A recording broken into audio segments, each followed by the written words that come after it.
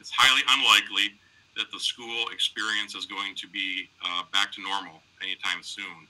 It's likely that uh, kids won't be able to be 60 kids on a bus and that we won't have 30 kids in the same time in a classroom until we have better ways of stopping transmission and making sure that uh, that is a, a low risk environment for our children.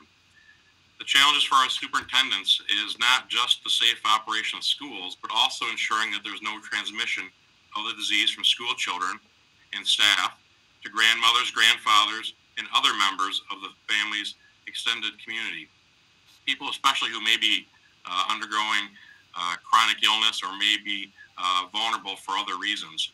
And I think that there's an assumption that we sometimes make that uh, that all children are are healthy and are very low risk for COVID-19, and we need to be careful about that because we do have many children with underlying health conditions that make them medically vulnerable.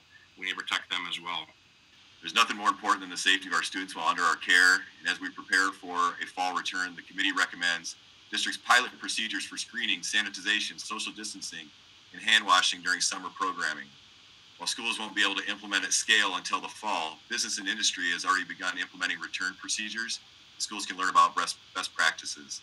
We are developing a return to school guide, which is based off of and in partnership with Spectrum Health.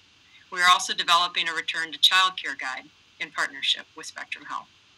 Planning for K 12, as Kevin mentioned, is a, a, large task. And right now we're looking at what can we do now to prepare for full scale come this fall. I am in awe of the amount of planning, effort, and rigor that was required. First to pivot quickly to virtual learning, and now to plan for this next phase for the fall. As a parent of two children in our public schools, and on behalf of thousands of our team members with school age children, we greatly appreciate and recognize this tremendous undertaking and the sacrifice our schools and parents have made. Spectrum Health is proud to partner and collaborate with Kent County school leaders in sharing best practices, guidance, tools, and resources.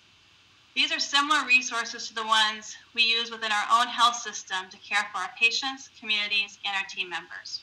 And this close collaboration is now more important than ever as we all are navigating the uncertainties of this ongoing pandemic.